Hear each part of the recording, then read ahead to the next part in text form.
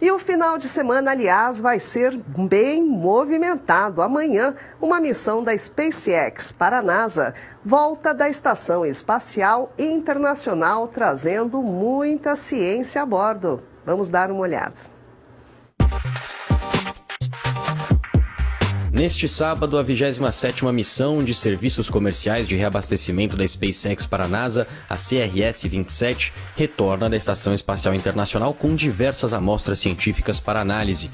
O evento terá cobertura ao vivo pela NASA TV, pelo site e aplicativo e mostrará a saída da cápsula de carga Dragon às 11h45 da manhã pelo horário de Brasília. Entre os estudos que a missão traz de volta à Terra estão experimentos envolvendo o cultivo de plantas, segurança contra incêndios e alterações nos músculos e artérias dos tripulantes do laboratório orbital. Esses dados serão encaminhados para o Centro Espacial Kennedy, onde os cientistas vão conduzir análises adicionais antes que os efeitos da gravidade entrem em ação. Um dos experimentos a serem examinados pela NASA é o cultivo de tomate cereja no espaço. A tripulação realizou três colheitas depois de três meses e congelou junto com amostras de água e cotonetes das telas de crescimento. Outro experimento foi o de segurança contra incêndios. Com ele, a NASA quer melhorar a segurança dos integrantes da tripulação com missões futuras. Eles também testaram o tônus e a elasticidade dos músculos dos astronautas. Por último, a NASA realizou um experimento de enrijecimento arterial. Os resultados podem ajudar a avaliar o risco para a saúde cardiovascular dos astronautas e apontar procedimentos para prevenir possíveis chances de danos.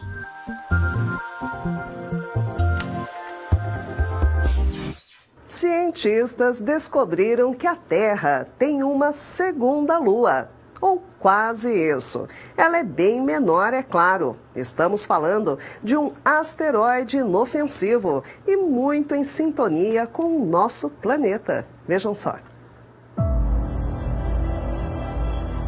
O asteroide 2023 FW13 foi descoberto recentemente a partir de observações feitas pelo telescópio Pan-STARRS, instalado no Havaí. De acordo com as análises realizadas sobre a órbita dele, não há chances de colisão com o nosso planeta. Ainda assim, a rocha, com cerca de 20 metros de diâmetro, chamou muito a atenção dos astrônomos por estar em uma espécie de sincronia com a Terra. Em outras palavras, o asteroide está sendo considerado algo como uma lua do nosso planeta, com a órbita dele acompanhando a nossa ao redor do Sol, segundo detectou o jornalista Adrian Coffinet.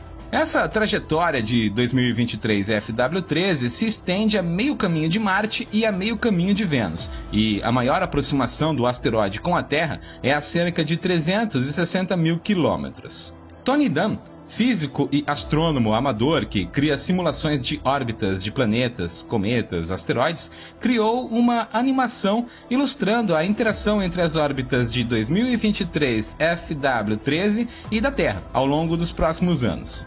Apesar dessa sintonia, o asteroide está orbitando o Sol, sem ter qualquer vínculo gravitacional com o nosso planeta.